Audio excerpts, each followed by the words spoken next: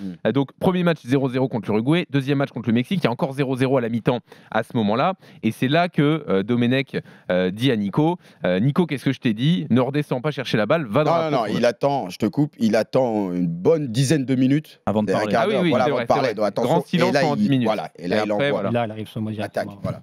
Et donc là, Nico, euh, tu as cette fameuse phrase. Donc, euh, Nico dit tout bas euh, Va te faire enculer avec ton équipe. Si c'est comme ça, je ne joue plus. Voilà. Non, il- en fait, Nico, il est, il est comme ça. Il a fait ses essais, il a dit, c'est pas grave.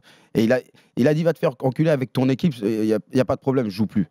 Mais Hmm. c'est- Ouais, ouais.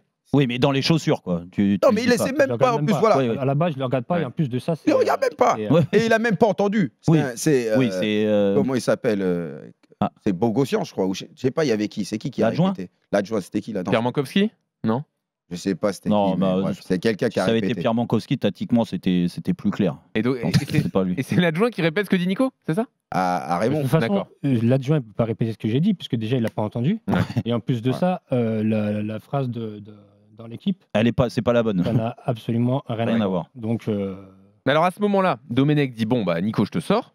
On est d'accord. Et là, Patrice, vous intervenez. Mais là, j'interviens parce que oh, moi, l'objectif, c'est de se- on peut encore se qualifier. oh, Ouais, et de gagner. à la mi-temps. Oui, oui, bah oui. Et j'ai dit, et Nico, il peut dire, j'ai dit, oh, arrêtez vos conneries, on a besoin de Nico. J'ai dit, Nico, remets tes chaussures, euh, tu, tu vas jouer, etc. Et puis, Nico, encore, je le convainc encore, il remet ses chaussures. Et l'autre, il lui dit Et non. moment qu'on sort, et l'autre, il dit, non, non, regarde, il y a Gignac qui s'échauffe, euh, c'est mort. Eh, c'est déjà, même on a repris la deuxième mi-temps. euh, Oui, là, t'as la tête à l'envers. Eh non, il y avait déjà la tête à l'envers. Donc là, euh, s'ensuit ce qu'on a tous encore en tête. Mais hein, juste- donc, là- oui, vas-y, Nico, excuse-moi, bien pour sûr. revenir bien à la réaction que j'ai, il faut se, il faut se remettre, euh, faut, re- faut remettre en arrière tout ce qui s'est passé Ouais. auparavant. déjà, Avant, ouais. Avec, Vas-y, ouais. avec le, le coach, avec William, etc., avec Titi, etc.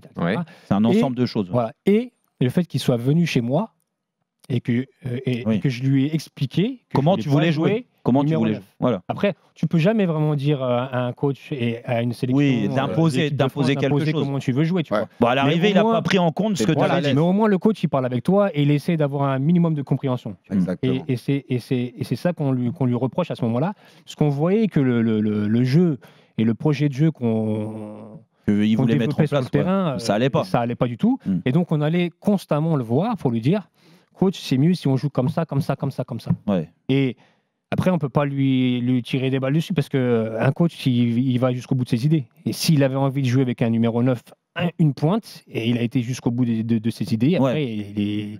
il, a foncé dans le mur, il a foncé dans le mur. Mais la, comment dire, la, la réaction que j'ai eue, c'est parce que j'avais parlé avec lui et qui était venu. Oui, c'est- Ouais, ouais, mais Nico, t'oublies ça aussi, mais aussi laisser 10 minutes dans un vestiaire silence. Oui. Et la Alors première que ça va chose, pas. tu, tu Ouais. rentres Ouais, comme ça, vient, moi, il la arrive, réaction, il tu te défends. Tu te sens agressé.